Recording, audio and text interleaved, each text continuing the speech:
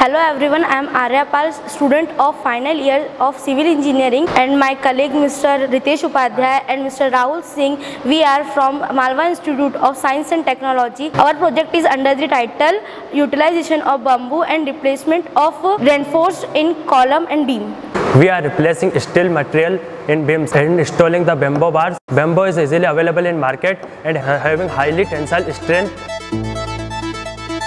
It is a low cost material and it is easily available on market. We can use in this material of uh, non non bearing structure material uh, like uh, dividers and uh, flooring.